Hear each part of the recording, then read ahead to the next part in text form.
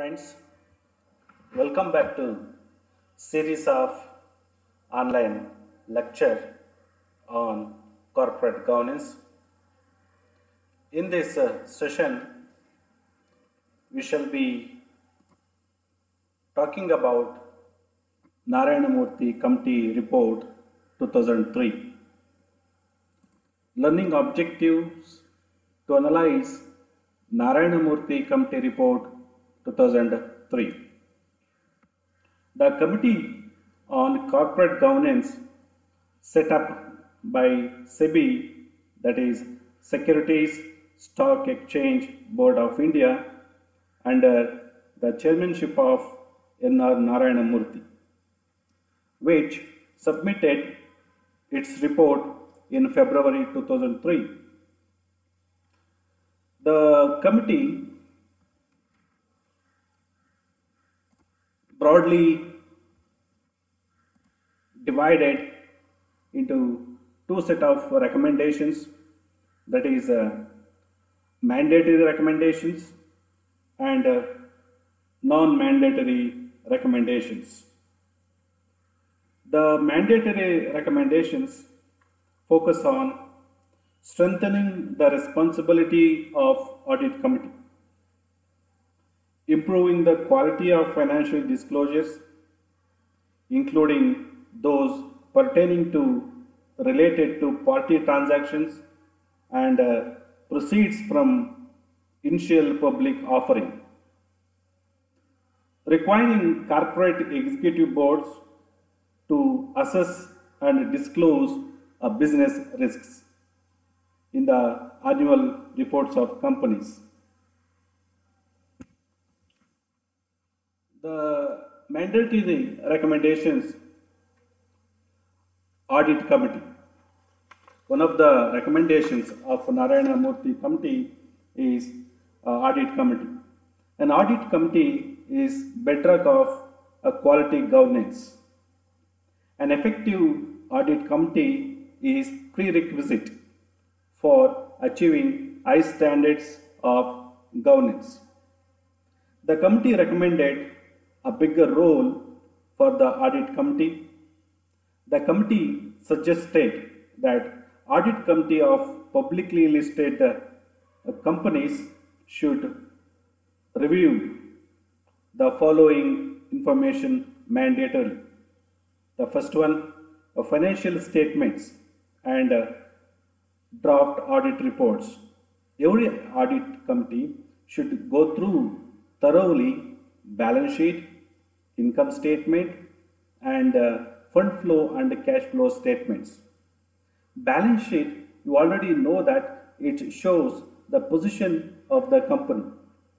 What's a, what are its obligations and uh, what resources the concerned company uh, possesses. And also, uh, income statement, it shows the net profit or a net loss. The second point, management discussion and analysis of financial condition and results of operations. The third, report relating to a compliance with the laws and uh, risk management. Records of related party transactions. Proceeds from IPO. Companies raising money through initial public offering should disclose to the audit committee the uses and application of funds and measure it on quarterly basis.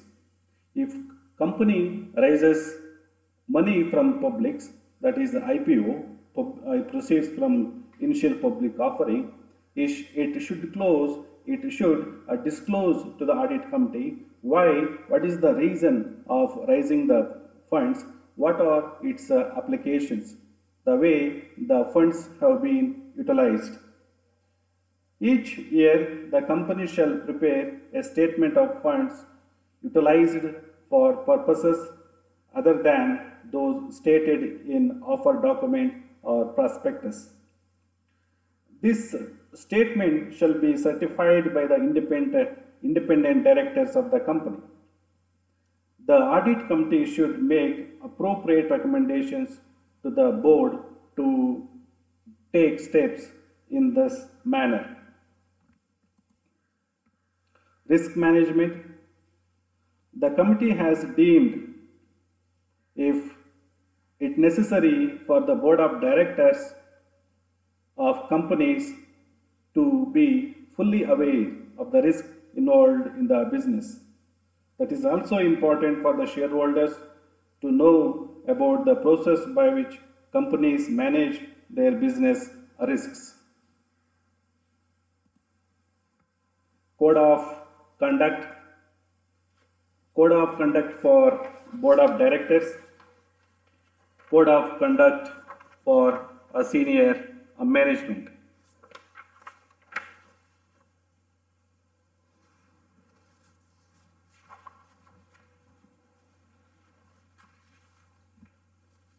The committee has recommended that it should be obligatory for the board of company to lie down a code of conduct for all the board members and uh, senior management of the company. This code should be posted on the company's website and all board members and uh, senior personnel shall affirm compliance with the code on an annual basis. The annual report of the company shall contain a declaration to this effect signed off by the CEO and COO. This suggestion, which is a long overdue in the Indian context, in line with the best practices adopted by corporates in developed economies. Nominee director.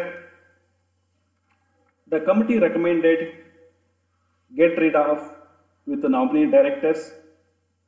This company already nominee directors ಬೇಕಾಗಿಲ್ಲ ಅಂತ ಇದು suggestion ಮಾಡುತ್ತೆ ಏನು just previous committees ಏನು recommendations ಕೊಟ್ಟಿದ್ದು. ಈ Narayana Murthy committee ಏನು ಈ ನಾಮಿನಿ ಡೈರೆಕ್ಟರ್ ನೆಸೆಸಿಟಿ ಇಲ್ಲ ಅಂತ ಏನು ರೆಕಮೆಂಡೇಷನ್ಸಲ್ಲಿ ಇದು ಹೇಳುತ್ತೆ. If corporation wishes to appoint a director on the board such appointment should be made by the shareholders suppose a company wants or wishes to be appointed a nominee director, that director, a director should be appointed by the shareholders, not uh, by the uh, board of uh, directors. The committee insisted that an, an institutional director, if appointed, shall have the same responsibility and uh, shall be subject to same liability as any other directors. Nominee of the government on behalf of public sector companies shall be similarly elected and shall be subject to the same responsibility and uh, liability as other directors. Compensation to non-executive directors need shareholders approval. Here, if company paying any benefits, monetary benefits, that should be approved by the shareholders.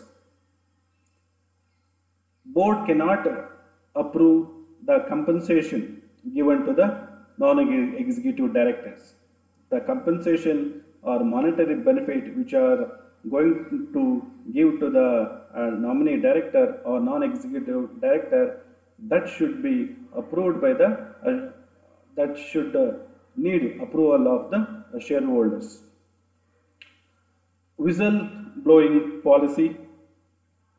This is a major recommendations of the narayana committee. Any inappropriate or any misappropriation of funds or any unethical practices in the company that uh, should bring to the notice of higher authorities. In such a, a cases, the person who brings or who disclose that kind of uh, information, that person need to be uh, protected. That person needs to be safeguarded. These are all the recommendations given by the Narayana Murthy committees. Thank you. Happy learning.